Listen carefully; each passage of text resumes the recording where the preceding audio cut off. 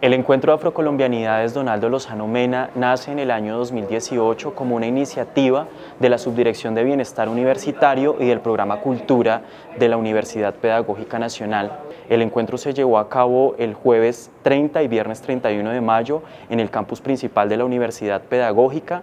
Contó con un conversatorio de un colectivo de estudiantes afros llamado Yembe Afram de la Universidad Pedagógica Nacional. Los movimientos eh, negros son muy importantes eh, para eso mismo, para una consolidación de nación, donde haya una representación ¿sí? Eh, de lo que somos. ¿sí? Colombia también es negra, ¿sí? Colombia también, los negros en Colombia también han llevado luchas resignificativas para esa consolidación, entonces yo sí creo que es muy importante desde los movimientos sociales y desde los movimientos estudiantiles eh, se visibilice y se haga un mayor eh, aporte desde las comunidades negras para eh, mejorar estas luchas. Las necesidades educativas, ¿sí?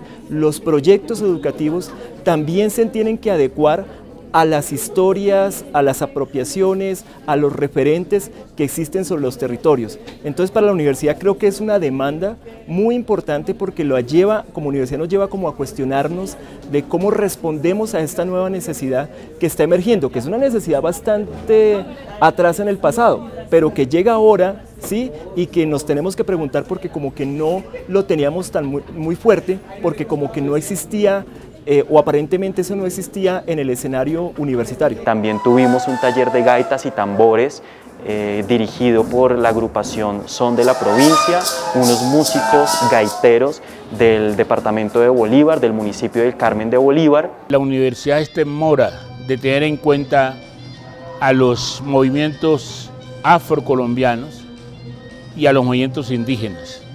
Y lo digo porque la universidad es muy homogénea muy montada sobre un discurso hegemónico en una sociedad donde somos pluriétnicos, multiculturales. Entonces, si la universidad quiere enriquecerse, tiene que tener en cuenta que hay otras formas de ver el mundo, de pensarlo, de sentirlo, de vivirlo. Y finalmente desarrollamos un conversatorio llamado Las voces como resistencia sociocultural de los pueblos afrocolombianos. Hoy yo les vengo a cantar a mi madre Yemaya. Hoy yo le vengo a cantar a mi madre Yemaya.